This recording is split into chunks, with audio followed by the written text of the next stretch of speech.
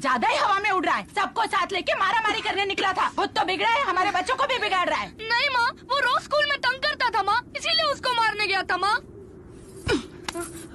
क्या? टोली बनाकर मारने गया था?